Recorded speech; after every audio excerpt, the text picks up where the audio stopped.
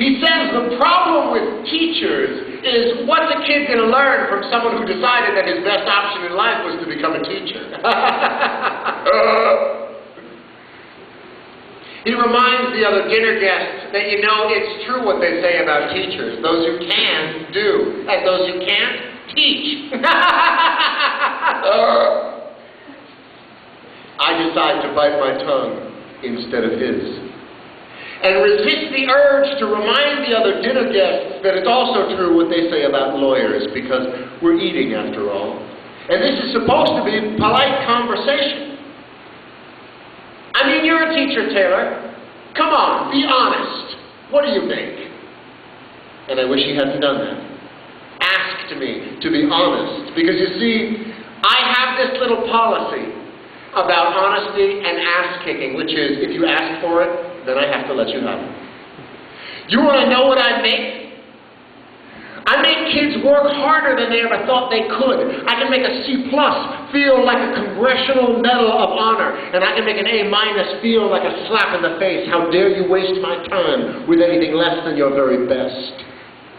I make kids sit through 40 minutes of study hall in absolute silence. No, you may not work in groups. No, you cannot ask me a question. Why won't I let you go to the bathroom? Because you're bored and you don't really have to go, do you?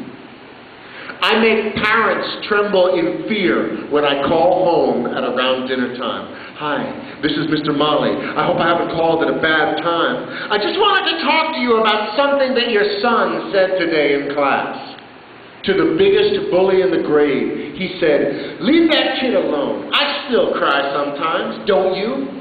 And it was the noblest act of courage that I have ever seen.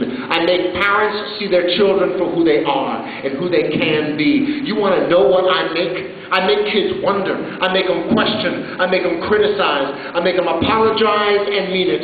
I make them write, write, write, and then I make them read. I make them spell definitely beautiful, definitely beautiful, definitely beautiful, definitely be a beautiful, until they will never misspell either one of those words again. I make them show all their work in math class and then hide it on their final drafts in English. I make them realize that if you've got this, then you follow this.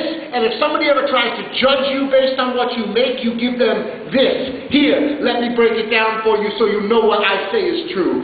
I make a goddamn difference. Now, what about you? Thank you.